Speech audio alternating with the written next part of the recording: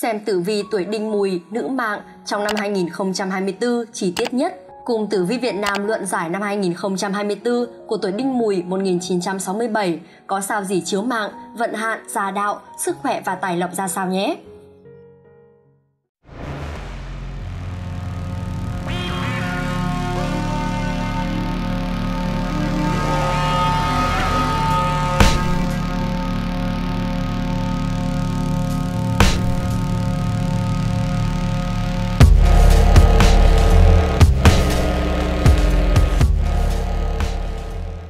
Về tổng quan.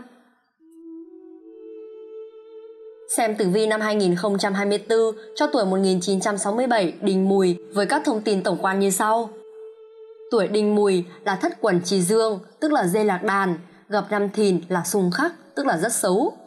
Về dương mạng tuổi âm là 58 tuổi, sinh từ ngày 9 tháng 2 năm 1967 đến ngày 29 tháng 1 năm 1968 về ngũ hành bản mệnh là thiên hà thủy, tức là nước sông thiên hà, gặp sao hỏa là khắc xuất, tức là xấu. Về thiên can là đinh, mang hành hỏa, gặp thiên can giáp năm 2024, mang hành mộc là bình hòa. Về cung phi là ly, mang hành hỏa, gặp chấn hành mộc là sinh khí, rất tốt. Về sao chiếu mạng năm 2024 là sao thái âm là tốt. Về sao hạn là hạn huỳnh tuyền, không phạm tam tai, hoàng ốc về vận niên là lòng đắc vũ là dòng gập mây tức là tốt. Về tướng xương và tướng tinh là xương con dê và tướng tinh con rồng. Theo ngũ hành Tử vi nữ mạng năm 1967 cho năm 2024 dự báo rằng ngũ hành thuộc thủy sẽ gặp nam giáp thìn có ngũ hành là hỏa, tương ứng với quan hệ khắc xuất là xấu.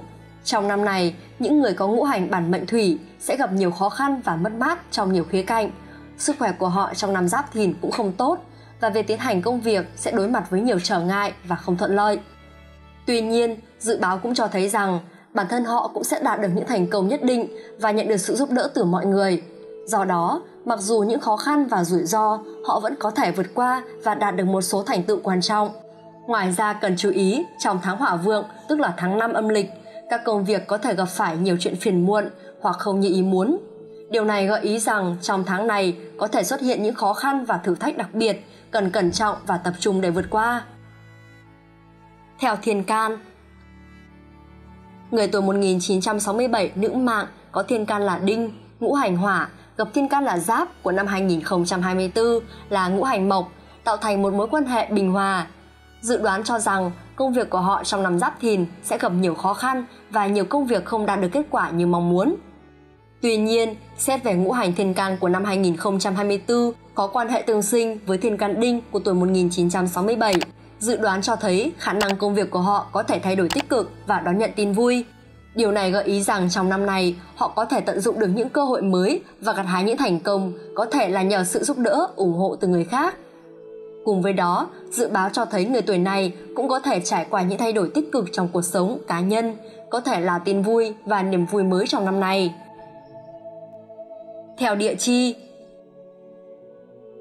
người tuổi mùi đối mặt với quan hệ tứ hành xung với năm thìn năm 2024.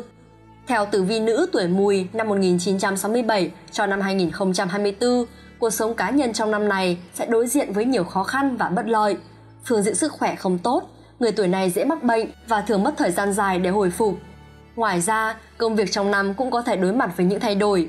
Sự xung đột giữa ngũ hành địa chi tuổi mùi và năm thìn, vượng thổ đồng nghĩa với công việc và tài chính có thể gặp khó khăn và bất ổn. Theo cung phi,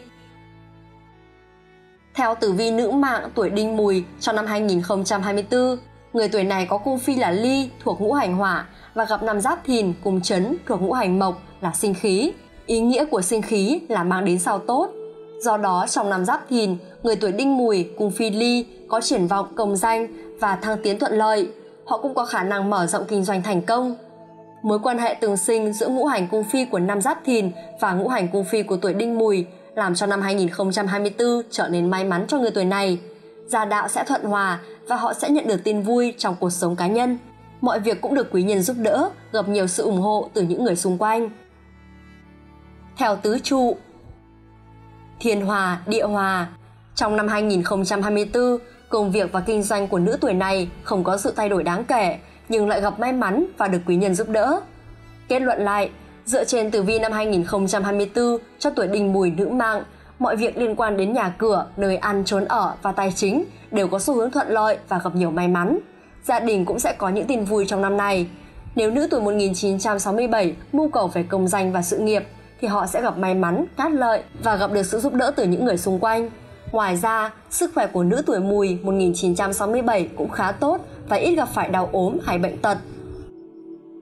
Về sao chiếu mệnh Sao thái âm thủy tinh Thái âm rực rỡ cung hằng, tháng 9 tiền bạc dư ăn để dành, tháng 10, 11 hạn hành, tránh hai tháng ấy mới lành bản thân. Trong năm 2024, người nữ mạng tuổi này gặp sao thái âm chứa mệnh. Dự đoán rằng họ sẽ trải qua nhiều niềm vui, hạnh phúc và thành công về tài chính. Công việc của họ sẽ tiến triển thuận lợi và đạt được những thành tựu đáng mừng. Tuy nhiên, cần chú ý đến sức khỏe vào tháng 11 âm lịch để tránh mắc đau ốm hoặc bệnh tật. Về sao hạn Hạn Huỳnh Tuyền, Đại Hạn Huỳnh Tuyền hạn ấy nặng thay, dẫu khỏi tài nạn, kiếp giải ốm đau, khuyên ai khấn nguyện hết lòng, cúng sao giải hạn, thoát vòng tai ương. Năm 2024 là năm hạn Huỳnh Tuyền chiếu vào tự vi nữ mạng tuổi đinh mùi. Dự đoán rằng sức khỏe của họ đối mặt với nhiều biến đổi bất lợi, họ dễ mắc bệnh và phục hồi khỏi bệnh cũng sẽ mất thời gian dài. Công danh và thăng tiến trong năm giáp thìn cũng không thuận lợi và tài lộc cũng khó được như mong muốn. Về hạn tuổi, Nữ mạng tuổi đinh mùi năm 2024 không phạm kim lâu, vàng ốc và tam tai. Về vận niên là lòng đắc vũ, tức là rồng gặp mây là tốt. Vận niên lòng đắc vũ hay còn được gọi là lòng ngộ vân, dịch nghĩa là rồng gặp may. Trong năm này, công việc hay học tập của người tuổi đinh mùi có cơ hội phát huy được khả năng. Theo tử vi năm 1967 cho năm 2024, môi trường sinh hoạt của họ phù hợp giúp họ đạt được thành quả tốt. Năm này có thể dự báo một số thay đổi trong cuộc sống của họ. Tuy nhiên, hướng của những thay đổi này phụ thuộc vào vận thời cá nhân của chủ mệnh. Công việc hoặc học tập có thể phát triển tốt nếu họ giữ tâm thiện và làm việc cẩn trọng. Tổng kết, Xem tử vi tuổi đinh mùi, nữ mạng trong năm 2024 dự đoán rằng cuộc sống của họ khá tốt và cát lợi.